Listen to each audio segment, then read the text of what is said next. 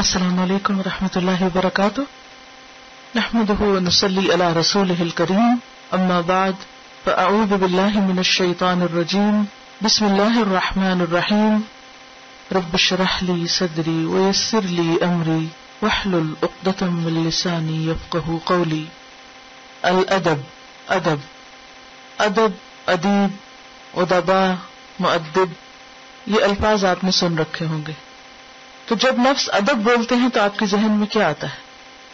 अदब क्या होता है? एहतराम, ताजीम और रिस्पेक्ट देना। अंग्रेज़ी होगी उसी लफ्ज की। जी। अदब या दुब बाब करो में से अदबन। लफ्सी माना होता है जीरक और दानिशमंद होना, अक्लमंद होना, साहिब अदब होना। और इसी से सिफत है अदीब और उसकी जमा है उदबा। अगर बाब दौरबा से हो तो अदब या अदीबू का माना होता है दावत का खाना तैयार करना। इसी से फिर मदुबा का लफ्ज आपने सुना होगा। और अदबहू कहते हैं दावत पर बुलाने को। और अदब यु अदब तदीब का लफ्ज भी आपने पढ़ा होगा। तदीब होता है महजब बनाना। कौन सा बाब है? तफील। तदीब यानी दूसरे को अदब सिखाना, शाइस्ता बनाना महजब बनाना। और अदब एक अखलाकी मलका होता है। मलका क्या होता है? एबिलिटी एक स्किल जो इंसान को नाशाइस्ता बातों से रोकता है गैर महजब बातों से रोकता है। यानी अदब एक ऐसी क्वालिटी है, इंसान के अंदर पाई जाने वाली ऐसी सिफत है, ऐसा अखलाक है कि जिसकी वजह से इंसान किससे बच जाता है? गैर शाइस्ता और गैर महजब बातों से। इसका ताल्लुक खुश तबई से भी है। यानी खुश अखलाकी से आप सोच रहे होंगे कि किताब का नाम है हुसन अखलाक और इसमें अदब का चैप्टर क्यों आ गया जिसका माना मैनर्स है? तो बात यह है कि अदब का ताल्लुक भी हुसन अखलाक से है। इसके अलावा अदब का इतलाक हर किस्म के उलूम पर भी होता है। उलूम और मारिफ पर और खासतौर पर इल्म के दिलचस्प हिस्सों पर भी इसका इतलाक होता है। और जब हम ये लफ्ज आदाब के मानों में बोलते हैं, जैसे किताब है आदाब ज़िंदगी तो आदाब कहते हैं किसी शख्स के या किसी कौम के या दीन के मखसूस तरीके, कवानीन, ऐसे जबते कि जो आम रोज़मर्रा ज़िंदगी में इस्तेमाल हो। एक तो कानून कायदे होते हैं ना जो किसी अदालत में इस्तेमाल होते हैं। और एक कानून कायदे डिसिप्लिन जबते और महारतें कि जो इंसान के सोशल लाइफ में इस्तेमाल होते हैं। रोज़मर्रा ज़िंदगी में इस्तेमाल होते हैं। जिनका ताल्लुक हमारी आम रोज़मर्रा ज़िंदगी से हो, जैसे गुफ्तगु में, उठने बैठने में, किसी के साथ मामला करने में, जो तरीके और जबते और उसूल जो किसी फर्द ने अपने लिए मुकर कर रखे हो, या किसी कौम में या फिर दीनी एतबार से। जैसे हर कौम के अपने कुछ उसूल जबते होते हैं, जिनको एटिकेट्स भी आप कहते हैं। हर सिविलाइजेशन के अंदर कुछ एटिकेट्स होते हैं।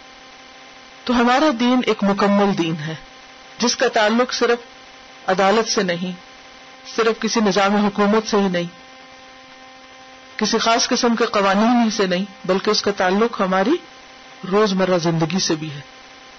उसका ताल्लुक हमारी गुफ्तगु से भी, रवैयों से भी, बाहमी ताल्लुकात से हुकूक और फराइज से है। तो अदब और आदाब इन तमाम चीज़ों का अहाता करते हैं। क्या समझ में आया? अदब किस चीज़ का अहाता करता है?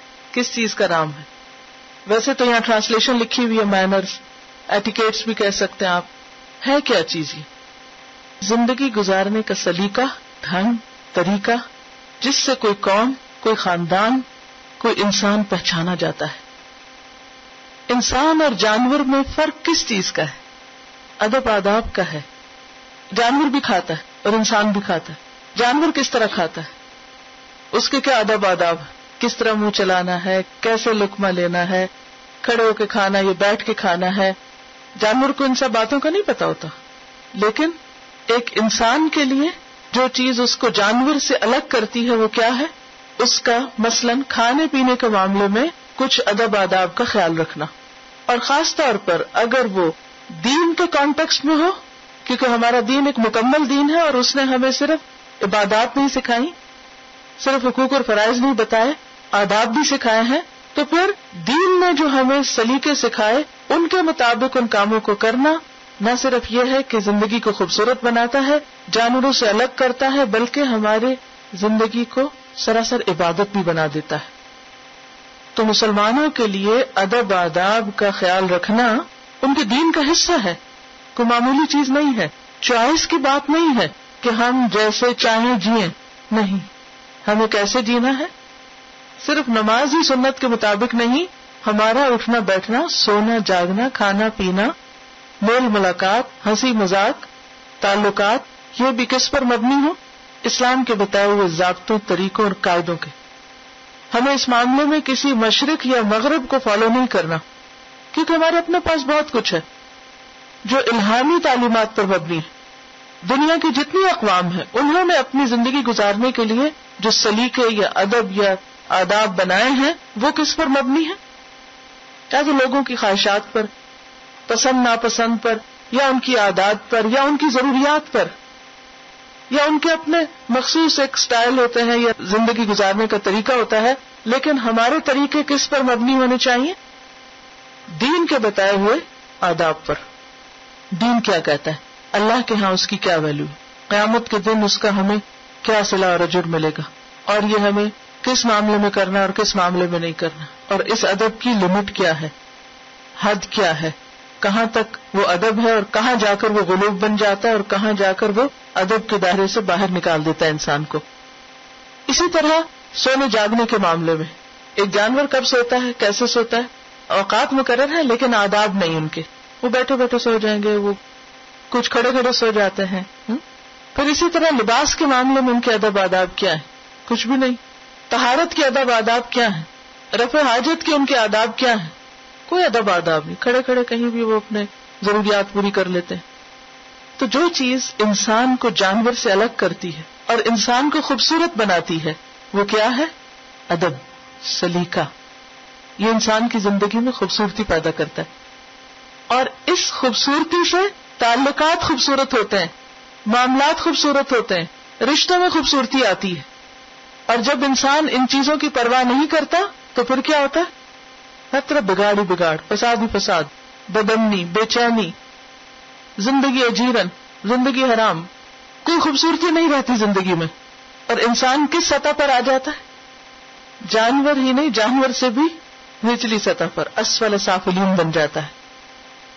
नबी सल्लल्लाहु अलैहि वसल्लम ने हमें सिर्फ़ कुरान और सुन्नत की तालीम ही नहीं दी, बल्कि क्या किया? लक़द मन अल्लाह अलमुमिनीन इज़ बअथ फीहिम रसूलन मिन अनफुसिहिम यतलू अलैहिम आयातिही व युज़क्कीहिम व युअल्लिमुहुमुल किताब वल हिकमत। ये जो युज़क्कीहिम का पार्ट है, ये अदब सिखाने का है, तमीज सिखाने का है महजब बनाने का है। तस्किया क्या होता है? संवारना, वो उनको संवारता है। जिस तरह कोई भी चीज़ संवारी जाती, जैसे आप अपना घर संवारते हैं, जैसे आप अपनी मुख्तलिफ़ चीज़ों को संवारते हैं, खूबसूरत बनाते हैं, नबी सल्लल्लाहु अलैहि वसल्लम का बेहतरीन कारनामा क्या है? कि आपने इंसानों को इंसान बनाया और बेहतरीन इंसान बनाया और बेहतरीन तरीके से संवारा। अरब जैसी उजैद कौम को गुफ्तगु के बेहतरीन आदाब सिखाए। एक दूसरे के अदब और एहतराम के आदाब सिखाए, पहनने ओढ़ने के अदब आदाब सिखाए, सोने जागने के, तहारत के, मामला करने के, गुफ्तगु के। एक एक चीज़ में आप सल्लल्लाहु अलैहि वसल्लम ने हुस्न पैदा किया, खूबसूरती पैदा की। और इंसानों को अदब सिखाना और तमीज सिखाना आसान काम नहीं होता। और फिर ऐसे काम जिसके पास कोई ऐसा कल्चर ही ना हो। कुछ अकवाम के तो अपने खास तौर तरीके होते हैं, लेकिन कुछ अकवाम जो आमतौर पर बहुत तहजीब तमद्दन से दूर होती हैं तो उनके यहाँ अमूमन इस चीज़ की और भी कमी होती तो नबी सल्लल्लाहु अलैहि ने दुनिया का मुश्किल तरीन काम किया और फिर ऐसे अदब आदाब सिखाए जो सिर्फ़ जाहिरी मसनू और दिखावे के ही नहीं थे, बल्कि क्या था? वो हर जगह थे। वो अपनों के अंदर भी थे, वो गैरों के अंदर भी थे। वो दिन को भी थे, वो रात को भी थे। वो सबके सामने भी थे, वो इंतहाई तन्हाई में भी थे। वो हर जगह उनके साथ रहे। तो अदब का माना महजब ज़िंदगी गुजारना, महजब तौर तरीके। ऐसे तरीकों के मुताबिक ज़िंदगी बसर करना कि जिससे इंसान की जाती ज़िंदगी भी खूबसूरत हो और उसके साथ साथ दूसरे लोगों को उससे तकलीफ़ न पहुँचे। वो दूसरे लोगों के लिए खुशी का सामान हो। दूसरों के लिए खैर और भलाई का नमूना हो। पहली हदीस अनबी मूसल अशारी काला। काला रसूल सल्लल्लाहु अलैहि वसल्लम इन मिन इजलाल इकराम बिशैबत मुस्लिम वहामिल कुरआनी गैर गाली फीही वलजाफी अनहु व इकराम बिसुल्तान मुकसित सईदना अबू मूसल अशरी रज़ी अल्लाह अनहु से रिवायत है रसूल अल्लाह सल्लल्लाहु अलैहि वसल्लम ने फरमाया सफ़ेद रेश यानी सफ़ेद दाढ़ी वाले मुसलमान की मुराद है बूढ़ा शख्स हामिल कुरान की ऐसा हामिल कुरान जो कुरान के बारे में हद से तजावुज न करने वाला हो, और न उससे एराज और बेवफाई करने वाला हो, और मुनसिफ बादशाह की इज़्ज़त करना अल्लाह की इज़्ज़त करने के हम माना है। अरबी वजाहत देखिए, अरबी लफ्जी तर्जुमा। अन अबू मूसल अशरी अबू मूसा अशरी से रिवायत है। काला कहते हैं, काला रसूलुल्लाह, फरमाया रसूलुल्लाह सल्लल्लाहु अलैहि वसल्लम ने, इन्ना बेशक मन से इजलाल, इज़्ज़त। अल्लाह अल्लाह। यानी अल्लाह की इज़्ज़त करना है। कैसे? इकराम, इज़्ज़त करना विशैबती सफेदी वाले, यानी बुढ़ापे के आसार वाले अल मुस्लिम से वह हामिल कुरान और हामिल कुरान से। गैर अलगाली, न गुलब करने वाला फ़ी ही उसमें। वल जाफी और बेवफाई करने वाला अनहु उससे। व इकरामी और इज़्ज़त करना जिस सुल्तानी, सुल्तान यानी बादशाह की अलमुकसती इंसाफ करने वाले। इन मिन इजलाल अल्लाह अल्लाह की इज़्ज़त करने में से है। हम कहते हैं ना, अल्लाह जल्ला जलालू अल्लाह अज्जा व जल। क्यों कहते हैं? अज्जा, अज़ीज़ से, जल्ला, जलाल से, जलील से। इन मिन इजलाल अल्लाह ही अल्लाह के एहतराम में से है। अल्लाह का एहतराम करना है। अल्लाह को इज़्ज़त बख्शना है। उसकी कदर बुलंद करना किस तरह? कब? जब कोई इंसान इज़्ज़त दे। इकराम का लफ्ज जो है, ये करम से है। करामत का लफ्ज आपने सुना होगा। करीम का लफ्ज बीसी से। और करम कहते हैं दरगुजर करने को। बख्शिश, फयाजी। और अंगूर की बेल के लिए भी लफ्ज इस्तेमाल होता है ना तो इकराम का माना भी इज़्ज़त और तकरीम होता है, मोहब्बत के मानों में भी आता है। क्योंकि सारी चीज़ें एक दूसरे के साथ मिल जाती हैं।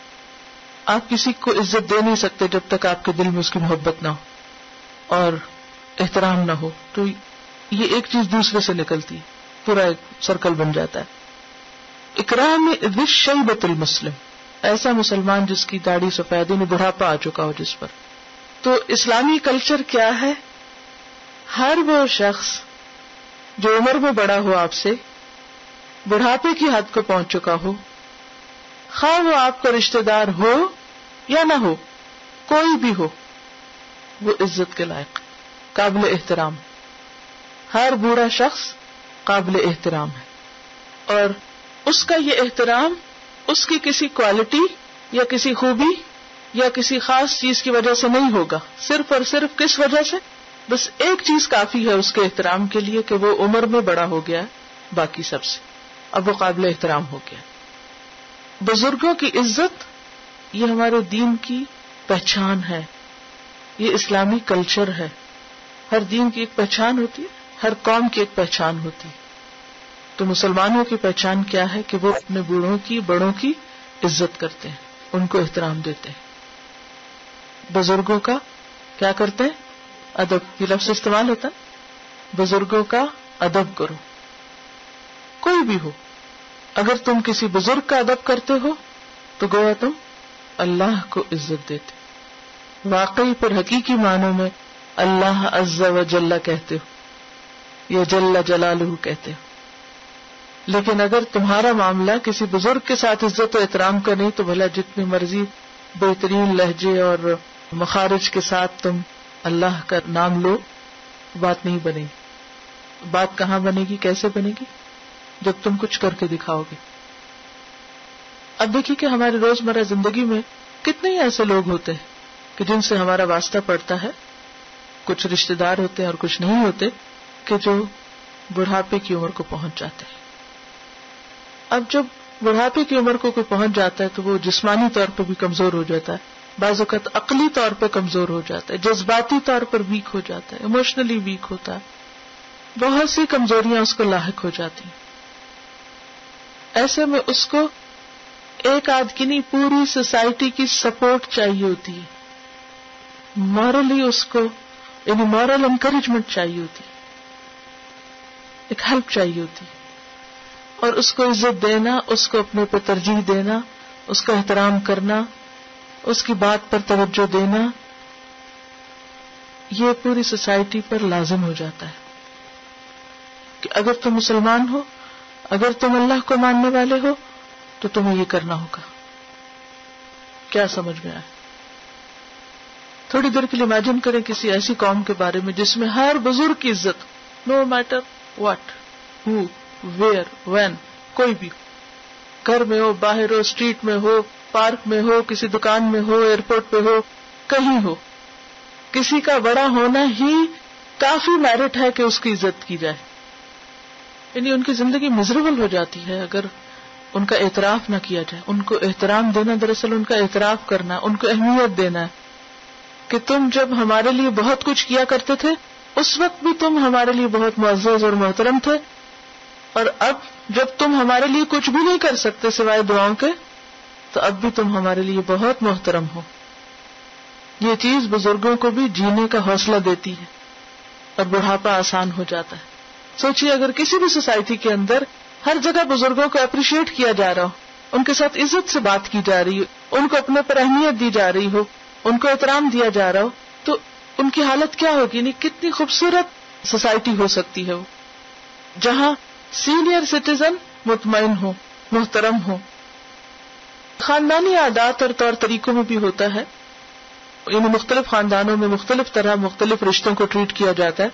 कुछ घरों में बहुत ज़्यादा इज़्ज़त और अदब होता और कुछ में बिल्कुल परवाह नहीं की जाती। लेकिन हमें फिर देखना है कि दीन क्या कहता है। अदब, आदाब हमारे जो भी हों, हमारा तो स्टैंडर्ड और मैार हमारा दीन है। अदब, एहतराम में क्या क्या चीज़ें आती हैं? मसलन आप इमेजिन करें किसी बुज़ुर्ग को तो उसके अदब के लिए मसलन आपको क्या करना होगा? ताकि हम सिर्फ़ अदब अदब ना करते रहे, ये भी पता हो कि किस मौके पर किस तरह बिहेव करना है। सलाम में पहल करना उनको उनको अपने से पहले बैठने की जगह देना, खाना पहले ऑफ़र करना। ये कहती है कि इनकी एक दोस्त है, उनकी वालदा बड़ी हो गई है, और उनको सब कुछ खुद आता है। लेकिन वो बार बार अपनी वालदा से पूछती है अच्छा है ये कैसे करते हैं? ये कैसे पकाते हैं? ये कैसे होता है? सिर्फ़ अहमियत देने के लिए, हालाँकि खुद भी पता है। तो उससे क्या है कि एक बॉन्डिंग है। और क्या करें? मसलन, मुख्तलिफ़ उमूर में उनसे मशवरा लेना, उनकी राय लेना, उनकी बात सुनना, उनकी रोज़मर्रा ज़िंदगी के कामों में उनकी मदद कर देना, और उनके आगे आवाज़ पस्त रखना, उनके सामने बुलंद आवाज़ से ना बोलना, ये बहुत बड़ी बात है। इसका तो कुरान ने भी हुक्म दिया ना, कि तुम वक्फिद लहुमा जनाहुल मिनर रहमा। अगर बुढ़ापे की वजह से, भूल जाने की वजह से कोई बात ना समझी की भी कर दे, क्योंकि जो जो इंसान बुज़ुर्ग होता है तो बाजू का तो बच्चों जैसी बातें करने लगते तो उस वक्त उन पे हंसना नहीं, मुस्कुराना नहीं, उनको बेवकूफ़ नहीं समझना और उनका मज़ाक नहीं उड़ाना, बल्कि उन सब चीज़ों को इस तरह लेना कि जैसे बिल्कुल नॉर्मल बात हो। मुख्तलिफ़ कामों में उनको शरीक करना, ताकि वो इम्पोर्टेंट फील करें। अगर उनकी वजह से कोई चीज़ स्लो हो रही है लेट हो रही है तो उनको इस तरह के एक्सप्रेशन न दें कि आपकी वजह से हमें बहुत मुश्किल है, बल्कि उसको बर्दाश्त करें और उनकी पसंद और नापसंद का ख्याल रखना, जैसे खाने पीने में या और चीज़ों में, उनके साथ वक्त गुजारना। अगर उनका दिन की तरफ़ रुझान नहीं, उनकी मदद करना, उनको कुछ पढ़ के सुना देना छोटी छोटी चीज़ों का ख्याल रखना। ये कहती कि मैं बहुत इंडिपेंडेंट भी थी, लेकिन मेरी वालदा यहाँ थी तो मैं छोटी छोटी चीज़ों पर उनको बताती रहती थी अच्छा मैं ग्रोसरी करने जा रही हूँ, मैं काम पे जा रही हूँ।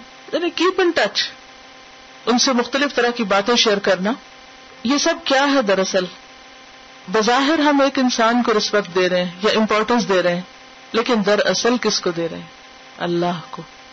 अगर इस एहसास के साथ दें तो कुछ भी मुश्किल नहीं रहेगा।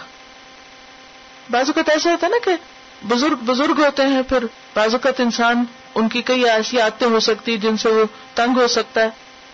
तो ऐसे में भी अदब और एहतराम का दामन हाथ से नहीं छोड़ना क्योंकि दीन का हिस्सा है और इनकी जातियों के बावजूद बाजू का बाज लोग कहते हैं नहीं, वो भी हम पर बड़ी जाति करते हैं, भले करते रहे। उनकी जातियों के बावजूद ख्याल रखना दरअसल क्या है? उनका नहीं है, अल्लाह का एहतराम करना है। और जिसके दिल में ये बात आ जाए, उसके लिए फिर कुछ भी मुश्किल नहीं रहता। Assalamu alaikum. I was thinking how in this, specifically this community, most of the professional jobs are held by the seniors, the leading lawyers, doctors, engineers, and so forth. They are seniors, and it is they who are going to be leaving behind their professional legacy to us. So if us, like the teens of today, or the youth, or the young adults of today, if they're not respecting them, and we're not the ones hurrying to learn from them, then they won't leave behind the legacy to us. And there was this one case that I was, um, a few years back that I was going through. And what happened in that situation was there was this gentleman, he left his senior mother in the senior home. And she was a very, very rich lady. And in the end, because he disrespected her and neglected her, she left her entire empire. And she was extremely rich. She left her entire empire to cats. She donated it to her nine cats and so forth. So we realize that if we're neglecting the seniors who have been on earth more than us and they know more than us, if we're neglecting them, in the end, ultimately, we're doing our, we're causing our own loss. तो जो असल बात सामने आती है वो ये कि जो कुछ फ़ायदा उनसे हम हासिल कर सकते हैं उनकी ज़िंदगी के तजुर्बों से या दूसरी चीज़ों से उससे महरूम रह जाते हैं और फिर क्या होता है गैप आ जाता है हर शख्स नई एक ज़िंदगी शुरू करता है और नए तजुर्बे शुरू करता है और पिछले तजुर्बों से फ़ायदा नहीं उठाता। इनका कहना यह है कि ये अपने बच्चों को इस तरह समझाती हैं कि बड़ों की बात की अहमियत क्या होती है कि जैसे वो एक टावर की मिसाल है कि जो टावर के ऊपर खड़ा है, वो ज़्यादा बड़े एरिया में देख रहा है, बनस्पत इसके जो दरमियान में है या उससे निचले लेवल पर है। तो जब एक इंसान की ज़िंदगी निचले लेवल पर होती है तो वो उतने ही एरिया में देख सकता है जो थोड़ा ऊपर चला जाता है और फिर टॉप पे चला जाता है तो उसकी नज़र से जिस तरह चीज़ें नज़र आती हैं, वो दूसरों की नज़र से वो नहीं नज़र आती। बाजूकत बच्चों को हमारी बात क्यों नहीं समझ आती? क्योंकि वो अपने लेवल पे चीज़ों को देख रहे हैं, जहाँ वो पहुँचे अभी। और बड़े जो है वो उससे ऊपर से देख रहे हैं और वो अपने तजुर्बे की रोशनी में चीज़ें समझा रहे हैं। क्योंकि कोई भी चीज़, चाहे आप ढेरों किताबें पढ़ लें, तजुर्बे का नेमल बदल कोई चीज़ नहीं है। बहरहाल मुसलमान के लिए तो क्या है? इमिन इजलाल इकराम शैबतुल मुस्लिम। किसी दुनियावी लालच की वजह से नहीं कि हम बुज़ुर्गों की इज़्ज़त करें तो फिर उनके पास जो दौलत है या कोई प्रॉपर्टी है, वो हमें मिल जाए। कहीं ऐसा ना हो कि किसी के जहन में ये लालच पड़ जाए कि हम बड़ों की इज़्ज़त करें ताकि उनसे दुनियावी फ़ायदे हासिल कर सके। दुनियावी फ़ायदे तो जो आपकी किस्मत में अल्लाह ने लिखे हैं, वो आपको मिल जाएँगे। और हकीकत यह है कि जो शख्स दूसरों को इज़्ज़त देता है, वो दरअसल इज़्ज़त ले रहा होता है। इस बात का एक तीसरा पहलू भी। नंबर एक आप बड़े को रिस्पेक्ट दें तो वो नेकी क्या लिखी जाएगी? गोया आपने अल्लाह को रिस्पेक्ट दी, और जो शख्स बड़े को इज़्ज़त देता है, अल्लाह को इज़्ज़त देता है, क्या वो इज़्ज़त से महरूम रह सकता है? क्या पलट के उसकी तरफ़ इज़्ज़त नहीं लौटेगी? वो दरअसल खुद को इज़्ज़त दे रहा होता है। और ये बात तजुर्बे से भी साबित होती है ना, कि जब आप इज़्ज़त देते हैं तो इज़्ज़त पाते हैं। और जब आप इज़्ज़त नहीं करते तो लोगों के दिल से आपकी इज़्ज़त और एहतराम भी उठ जाता है। इज़्ज़त और एहतराम हासिल करने का तरीका इज़्ज़त देना है। यानी जो लोग माँ बाप को इज़्ज़त नहीं देते, या दादी दादा हैं, या कोई भी रिश्ते में बड़ा है, चाहे रिश्ते में नहीं भी तो ऐसा शख्स खुद अपनी इज़्ज़त खो देता है। क्योंकि देखने वाले क्या देखते हैं? कि ये शख्स क्या रवैया रख रहा है, क्या मामला कर रहा है। क्योंकि इंसानी फितरत के अंदर एक जो पहचान है अच्छाई और बुराई की। चाहे वो किसी दीन मज़हब पर ना हो, लेकिन उसके अंदर जो एक पहचान है, उस पहचान की वजह से इंसान फ़ौरन दूसरे को जान लेता है कि इस शख्स के अंदर खैर नहीं, जिसके अंदर ये तमीज नहीं। तो दूसरे को इज़्ज़त देना, दरअसल खुद को इज़्ज़त देना है। और फिर वही चीज़ें इंसान की ज़िंदगी में वापस लौटती। अगर एक शख्स अपने माँ बाप की इज़्ज़त नहीं करता तो उसकी औलाद भी उसकी इज़्ज़त नहीं करती।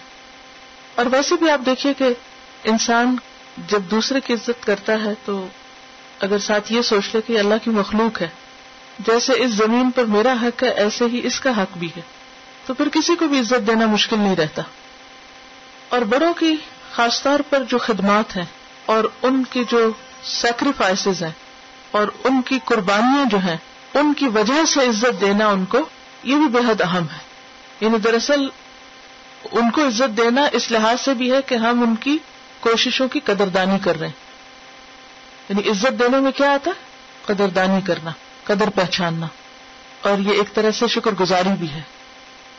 हदीस का अगला हिस्सा है वह हामिल कुरानी और हामिल कुरान हामिल का मतलब है उठाने वाला। हामिल का लफ्ज किससे हमल से। हमल का माना उठाना। और हामिल उठाने वाला। हामिल कुरानी कुरान का उठाने वाला। उठाने वाले से मुराद यहाँ सिर्फ़ कुरान मजीद का नुस्खा उठा लेना नहीं है। या ये कि कोई शख्स छपे हुए कुरान पाक उठा के डिब्बा अपने सर पे जा रहा है तो वो हामिल कुरान है। इससे मुराद वो शख्स जिसने कुरान हिफ्स कर रखा हो, या कुरान का आलिम हो, यानी कुरान सीखने सिखाने वाला क्योंकि कुरान सीखने और सिखाने के लिए इंसान को क्या करना होता है? कुरान पाक उठाना पड़ता है। उठाना पड़ता ना? उठाएँगे खोलेंगे, पढ़ेंगे, रोज साथ लाएँगे, ले जाएँगे तो रोज उठाए उठाए फिर रहे ना। आप सब भी हामिल कुरान हो गए। वो हामिल कुरान और कुरान का उठाने वाला गैर गाली फ़ी ही न गुलूब करने वाला, गाली, गुलूब से। गुलूब किसको कहते हैं? किसी चीज़ को उसकी हद से बढ़ा देना। और इसमें गुलूब न करने वाला, कुरान में गुलूब करना क्या है? मसलन तीन दिन के अंदर पढ़ने का हुक्म है कि तीन से कम में मत पढ़ो। अब अगर कोई शख्स एक ही रात में सारा पढ़ देता है, जैसे हमारे यहाँ शबीना होता है, और रात के अव्वल हिस्से से शुरू करते और तेज तेज पढ़कर और रात के आखिर हिस्से में उसको खत्म कर देते हैं, और इसको बहुत कमाल की चीज़ समझा जाता है, जबकि ये किसमें आता है? हद से बढ़ने में। इसकी इजाज़त नहीं। नबी सल्लल्लाहु अलैहि वसल्लम ने तीन दिन से कम में पढ़ने को मना किया। तो गैर गाली फ़ी ही जो उसमें गुलूब न करता, क्योंकि गुलूब करने से क्या होगा, फिर उसके अदब में कमी हो जाएगी। जब आप हद से ज़्यादा तेज पढ़ेंगे, या बगैर सोचे समझे पढ़ेंगे तो फिर क्या होगा? क्या होगा? हक नहीं देंगे कुरान मजीद का। गोया ये कुरान पाक की फिर इज़्ज़त करना ना हुआ। इसी तरह कुरान पाक इंसान याद तो कर ले हिफ्स तो कर ले, लेकिन उसको ना समझे। ये उसके हक में कमी करना है। वल जाफी अनहू जाफी का लफ्ज जो है जफवत उनसे। है जफा किसको कहते हैं? एक होती है वफा और एक होती है जफा। वफा के ऑपोजिट है जफा। जफा क्या है? वफा क्या है? अगर वफा का माना आएगा तो जफा का खुद ही आ जाएगा। पूरा पूरा हक देना। वफा करना है, पूरा पूरा हक देना। वादा वफा करना। तो एक है वफा और इसके बरक्स है जफा। जफा है किसी चीज़ को छोड़ देना। बदअखलाकी के लिए भी आता है। और जफा यजफू का माना होता है, एक जगह न ठहरना, करार न पकड़ना। तो जाफी अनहू से मुराद क्या हुआ? कुरान से रूगरदानी करने वाला। हाफिज तो बन गया है, तर्जमा तो पढ़ लिया है, समझ लिया है, लेकिन उसके बाद उसने क्या किया उसको? छोड़ दिया। पढ़ना छोड़ दिया, सीखना छोड़ दिया, सिखाना छोड़ दिया। हज़रत अब्दुल्ला इब्न अमर की हदीस में, जिसमें वो आप सल्लल्लाहु अलैहि वसल्लम से ज़्यादा से ज़्यादा कुरान मजीद पढ़ने की इजाज़त मांगते हैं और आप उनको इजाज़त नहीं देते तो उसमें वजह क्या बताते? कि मुझे ऐसा लगता है कि तुम्हारी उम्र लंबी होगी, और तुम इसको पूरा नहीं कर सकोगे, फिर अपने इस तरीके पर कायम नहीं रह सकोगे, क्योंकि वो हर रोज पूरा पूरा पढ़ लेते तो आपने उन्हें मना किया, और फिर मुख्तलिफ़ उनके सामने ऑप्शन रखी तो बिल आखिर दस दिन तक आप वसल्लम आए तो उन्होंने कहा कि तीन दिन तक की इजाज़त दें। तो बात यह है कि जफा है किसी भी चीज़ से बेवफाई करना, किसी भी चीज़ को छोड़ देना। और इसी में फिर बदअखलाकी करना भी आता है। जाफी कहते हैं, उजड इंसान को, बदअखलाक को। तो इससे क्या पता चलता है कि बदअखलाकी में सबसे बड़ी बदअखलाकी क्या है? किसी से ताल्लुक छोड़ देना, किसी से ताल्लुक कायम न रखना, किसी की परवाह न करना, बेपरवाही बरतना। तो यहाँ इससे क्या पता चलता है? कि साहिब कुरान जो है वो भी एहतराम के लायक है। खा वो कोई रिश्तेदार हो या ना हो। और साहिब कुरान को इज़्ज़त देना, दरअसल किसको इज़्ज़त देना? कुरान को देना। और फिर इस हदीस के मुताबिक अल्लाह सुबहान तला को इज़्ज़त देना। क्योंकि कुरान दरअसल अल्लाह का कलाम है। कुरान अगर किसी किताब में लिखा हुआ है तो उन वर्कों को आप अदब देते हैं या नहीं? असल आप देखें कि मुसफ है। आपको पता है कि इसके अंदर क्या है। अल्लाह का कलाम लिखा हुआ है। फिर आप इसके साथ क्या सलूक करते हैं? एहतराम करते ना इसका? क्यों? इस गत्ते का, इस कागज़ का एहतराम क्यों है कि इसके अंदर अल्लाह का कलाम तो जिस दिल में हो, जिस इंसान में हो, और जो कुरान की तालीम दे रहा हो, उसका एहतराम वाजिब नहीं? और उसका एहतराम क्यों किया जाए? उसके जिस्म को एहतराम देना नहीं, या उसके नाम को देना नहीं या उसकी शख्सियत को एहतराम देना नहीं, बल्कि दरअसल किसको एहतराम देना है? उस कुरान को देना है जो उसके दिल के अंदर या उसके अमल के अंदर या उसकी ज़िंदगी के अंदर हाफिज कुरान को इज़्ज़त देना भी क्यों अहम है? कि कुरान उसके दिल के अंदर अगर आप कागज़ का एहतराम करते हैं कि कुरान इसके अंदर है तो क्या इंसान का एहतराम नहीं होगा? जबकि इंसान तो वैसे ही मोहतरम है। चाहे उसके अंदर कुरान हो या ना हो, वो वैसे ही मोहतरम है। हर इंसानी जान मोहतरम, हर इंसान मोहतरम। और एहतराम का दर्जा बढ़ता जाता है इल्म के बढ़ने के साथ। लेकिन फिर वही हामिल कुरान जो कुरान पढ़कर भुला न दे। सिर्फ़ नाम का ठप्पा न लग जाए कि हाँ जी, ये फला हाफिज हो गया, या फला आलिम है। बल्कि उसका ताल्लुक कुरान से बाकी रहे। वो अपने आप को कुरान के साथ मुंसलिक रखे। क्या समझ में आई? अब हम ये नहीं कह सकते कि असल इज़्ज़त कुरान की है, ना कि इस कागज़ की जो कि जिस पर लिखा है। नहीं, कागज़ भी मोहतरम हो गया, क्योंकि इस पर कुरान लिखा हुआ है। इस सिलसिले में कई किताबें मिलती हैं। आलिम या हाफिज या कुरान का, या दीन का, यानी सिर्फ़ कुरान ही नहीं, बल्कि दीन का इल्म देने वाला शख्स जो है, उसका एहतराम क्यों लाजिम है? और उसमें उस्ताद का अदब और एहतराम। मैं चाहूँगी कि आप पढ़ें, क्योंकि अगर मैंने पढ़ा तो शायद ये तासुर मिले कि मुझे अपनी इज़्ज़त कराना है। तो बेहतर है कि आप पढ़कर सुनाए ताकि आप ही की बात हो। इस का अदब। तालब इल्म को चाहिए कि इस का अदब एहतराम अपने ऊपर लाजिम समझे। हज़रत अबू सईद खुदरी रदी अल्लाह से रिवायत है कि रसूल अल्लाह सल्लल्लाहु अलैहि वसल्लम ने फरमाया इल्म हासिल करो और इल्म के लिए मतानत और वक़ार पैदा करो। जिससे तालीम हासिल करो उससे खाकसारी बरतो। क्या मतलब? अदब और एहतराम में पहली चीज़ क्या है? आजी तवाजु। एक जगह इरशाद फरमाया कि बूढ़े मुसलमान और आलिम हाफिज कुरान बादशाह आदिल और उस्ताद की इज़्ज़त करना ताजीम खुदाबंदी में दाखिल है। इसी हदीस का एक और वर्जन। ये जो हदीस आप पढ़ रहे ना उसी को कोट किया। जी।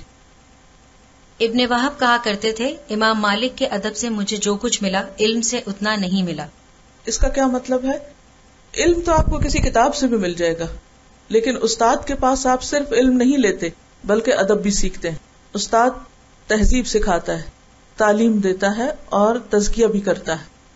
और बसा अवकात उस्ताद के इल्म से इंसान को वो कुछ नहीं मिलता जो अदब से मिलता है। इसके दो माने, एक उसके अदब सिखाने से और दूसरे ये कि उसका अदब करने से। क्योंकि कुदरती तौर पर जो तालब इल्म अदब करने वाला होता है, उस्ताद का दिल उसकी तरफ़ मायल हो जाता है। और जब उस्ताद का दिल उसकी तरफ़ मायल होता है तो वो उसे दूसरों की निस्बत और ज़्यादा देता है। बिल्कुल ऐसे ही जैसे बच्चों में से वो बच्चा जो माँ बाप का अदब ज़्यादा करता है तो माँ बाप का दिल कुदरती तौर पर उसकी तरफ़ मायल होता है, उसकी तरफ़ झुकता है। उसके लिए दुआएँ ज़्यादा निकलती हैं दिल से, या उसके लिए उसकी तरफ़ इंसान की रगबत ज़्यादा होती है।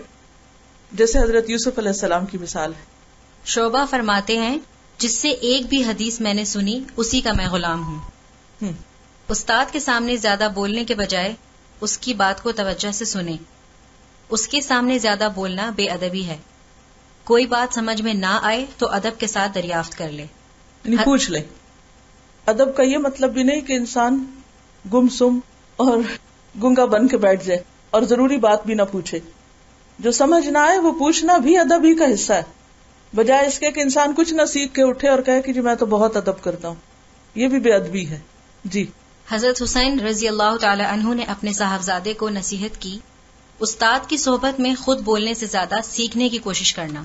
क्या मतलब? यानी जहाँ पर उस्ताद हो वहाँ पर ज़्यादा ज़रूरत न बोला जाए। क्यों? क्योंकि इंसान उस्ताद के नुकता नज़र को जानने से महरूम रह जाएगा जो कि इल्म और तजुर्बे पर मबनी होगा। जी, आगे चलिए। हज़रत अब्दुल्ला बिन अब्बास का बयान है कि मैं लगातार दो बरस तक इरादा करता रहा कि अमीरुल मोमिनीन उमर फारूक रज़ी अनहों से एक हदीस के बारे में सवाल करूँगा, मगर अदब और रोब की वजह से हिम्मत न पड़ती थी। एक मरतबा हज के मौके पर मर्रुज जोहरान में जब वो कजाए हाजत से फारिग होकर वापस होने लगे तो मैंने दिल कड़ा करके अर्ज़ किया, अमीरुल मोमिनीन, एक हदीस के मुतालिक दो बरस से सवाल करना चाहता हूँ, मगर आपका रोब बोलने नहीं देता। फरमाया, ये ना किया करो। जब कुछ पूछना हो तो पूछ लिया करो। इल्म होगा तो बता दूँगा, वरना कह दूँगा कि मैं नहीं जानता। किसी और से पूछ लो। इसी तरह सईद इब्ने मुसैब ने फरमाया कि मैंने सईद इब्ने मालिक रहमतुल्लाह से कहा आपसे कुछ दरियाफ्त करना है, मगर हैबत की वजह से जबान नहीं खुलती। फरमाया, भाई, मुझसे हरगिज मरूब ना हो। जो कुछ पूछना हो, बेखटके पूछ लिया करो। अर्ज़ किया, पूछना यह है कि रसूल अल्लाह सल्लल्लाहु अलैहि वसल्लम ने गजबा तबूक में तशरीफ़ ले जाते वक्त हज़रत अली से क्या फरमाया था? जवाब दिया, ये फरमाया था, ए अली, तुम क्या पसंद नहीं करते कि मुझसे तुम्हारी वही निस्बत हो, जो मूसा सलाम से उनके भाई हारून को थी? इन्हीं नबी वसल्लम ने हज़रत अली को ऑनर बख्शा, इज़्ज़त बख्शी, कि जिस तरह हज़रत मूसा अपने भाई हारून सलाम से मोहब्बत रखते थे, और उनको अपने लिए दुआ मांग के, यानी अल्लाह सुबहान तला से एक तरह से खास किया तो इसी तरह तुम भी मेरे लिए क्या हो? बहुत अहम हो। नबूबत तो नहीं मिल सकती थी आपके बाद किसी और को, लेकिन वो जो कुर्बत की जो निस्बत है, या एक ताल्लुक का जो इजहार है, वो यहाँ से पता चलता है। इमाम अहमद बिन हम्बल अदब की वजह से अपने उस्ताद का नाम ना लेते थे, बल्कि उनका ज़िक्र उनकी कुन्नियत के साथ किया करते थे। इमाम बुखारी रहमत से एक बार किसी ने पूछा कि आपके दिल में कोई ख्वाहिश है? फरमाया ख्वाहिश ये है कि मेरे उस्ताद अली बिन मदीनी हयात होते और मैं जाकर उनकी सोबत इख्तियार करता। इमाम रबी फरमाते हैं कि अपने ये कौन कह रहा है? इमाम बुखारी कह रहे हैं। यानी किसी आम शख्स का ये कहना कि मैं फुलां के पास जाके कुछ सीखूं वो एक अंडरस्टूड बात है। लेकिन एक इमाम का ये कहना कि मैं जाऊँ ये एक बहुत बड़ा ऑनर है। इमाम रबी फरमाते हैं कि अपने उस्ताद इमाम शाफी की नज़र के सामने मुझको कभी पानी पीने की जुरात न हुई। इमाम शाफी फरमाते हैं कि इमाम मालिक के सामने में वरक भी आहिस्ता उलटता था कि उसकी आवाज़ उनको सुनाई न दे। इमाम अबू यूसुफ ने फरमाया, इंसान पर अपने उस्ताद की मदारात वाजिब है। मदारात क्या होता है? खातिर मुदारात, वो क्या होता है? ये लफ्ज अगर समझ आएगा तो आपको फिर वो एटिकेट समझ आएँगे कि मुदारात क्या होती है। हमारे यहाँ खातर मुदारा सिर्फ़ खिलाने पिलाने का नाम है। सिर्फ़ खिलाना पिलाना खातर मुदारत नहीं होती। उसमें और क्या शामिल होता है? जरूरियात फराहम करना, यानी कोई भी चीज़ हो तो अपने से आगे रखना, या मसलन दरवाज़ा खोल देना, जूते ला के रख देना, ये मुदारत में आती है छोटी छोटी चीज़ें। कोई चीज़ ज़रूरत है, अगर मसला उस्ताद देख रहा है दाएँ बाएँ तो इशारों समझना कि यहाँ देखा है तो इसका मतलब यहाँ से कुछ चाहिए। तो ये चीज़ें मदारत में आती जैसे एक मेहमान की खातर मुदारत आप करते हैं तो उसके साथ क्या सलूक करते हैं? उसके साथ वो सलूक तो नहीं करते जो घर में अपने बच्चे के साथ करते हैं। ऐसा तो नहीं होता ना? तो उसको जहन में रख के मुदारत का माना सोचिए। जी। उसकी तुंदी सख्ती को बर्दाश्त करे। उस्ताद कोई अच्छी बात बताए या किसी बुरी बात पर तंबी करे तो उसकी शुक्रगुजारी ज़रूरी है। जब वो कोई नुक्ता बताए तो तुम्हें अगर वो पहले से मालूम हो जब भी ये ज़ाहिर ना करो कि मुझे पहले से मालूम है। ठीक है इतना ही काफ़ी। असल में ये इसलिए मैं चाह रही थी कि थोड़ा सा पढ़ के सुना दिया जाए ताकि ये पता चले कि अदब में क्या क्या चीज़ें शामिल है। चलिए आगे चले। वो इकराम सुल्तान और मुनसिफ बादशाह की इज़्ज़त करना अल्लाह की इज़्ज़त करने के हम माना है। इज़्ज़त तो हर एक की करनी चाहिए लेकिन खसूसी तौर पर इज़्ज़त के हामिल लोग वो हैं जो इस्लाम की हालत में बड़ी उम्र को पहुँचे, जो साहिब कुरान हो और कुरान के बारे में इतदाल से काम लेने वाले हों। इसके अलावा उस बादशाह की इज़्ज़त, उस हुक्मरान की इज़्ज़त जो इंसाफ करने वाला हो। हकीकत यह है कि इंसाफ करना अल्लाह को पसंद है। अल्लाह ताला मुकसितीन से मोहब्बत करता है। और जिससे अल्लाह मोहब्बत रखता हो, उसकी इज़्ज़त करना भी अल्लाह को पसंद है। और इस हदीस से हमें यह पता चलता है कि ऐसा शख्स जिसके पास अथॉरिटी हो, इकतदार हो कुत और गलबा हो, और उस कुत के बावजूद वो लोगों के दरमियान इंसाफ करने वाला हो, ऐसा शख्स काबिल इज़्ज़त है। लोगों के दरमियान उनके झगड़ों में, उनकी मुश्किल में इंसाफ करना आसान काम नहीं। सिर्फ़ वही कर सकता है जिसे अल्लाह की खास ताइद हासिल हो। और ऐसी मिसालें तारीख में बहुत कम मिलती हैं। इस मामले में खासतौर पर हज़रत उमर रजील्ला तु की मिसाल हमारे सामने है कि वो किस कदर इंसाफ पसंद थे। उन्होंने कभी इंसाफ के मामले में अपनी जात के साथ भी रियायत नहीं की, न कभी अपनी औलाद के साथ, न दोस्तों के साथ, न किसी बड़े के साथ और न छोटे के साथ। और यही वजह है कि हम देखते हैं कि हज़रत उमर रज़ी अल्लाह ने इंसाफ कायम करने में अपनी जान की भी परवाह न की। आज हज़रत उमर रज़ी अल्लाह दुनिया में न सिर्फ़ ये कि मुसलमानों के अंदर, बल्कि गैर मुस्लिम के अंदर भी अदलो इंसाफ के अलम्बरदार और एक अलामत के तौर पर पहचाने जाते हैं। हज़रत उमर जैसी और मिसालें भी तारीख में मौजूद हैं, लेकिन यहाँ पर जिस बात की तलकीन की जा रही है, वो ये है कि हर ऐसा शख्स जो हमारे ऊपर हुक्मरान मुकर किया गया हो, अगर वो अदल इंसाफ से काम लेता हो तो उसकी इज़्ज़त करना एक मुसलमान की ज़िम्मेदारी है। और यहाँ पर जो लफ्ज इस्तेमाल हुआ है इकराम इकराम का लफ्ज करम से है। काफ रामीम और करम का माना होता है दरगुजर करना। बख्शिश, फयाजी। इसी से लफ्ज करामत भी है। मोहब्बत और तकरीम का लफ्ज उर्दू में इस्तेमाल होता है। किसी को अज़ीज़ और नफीस और करीब रखना। तो इससे मुराद क्या होगी? कि ऐसे बादशाह की इज़्ज़त भी की जाए, उससे मोहब्बत भी की जाए और उसके साथ अच्छा सलूक किया जाए। और अगर वो अदलो इंसाफ करता हो और उससे कुछ गलतियाँ हो जाए या कुछ ऐसे फैसले भी हो जाए जो पसंद ना आए तो इसके बावजूद उससे दरगुजर भी किया जाए। ओके सुबहान बिहमदिका नशहदु अल्ला इलाहा इल्ला अंता व व व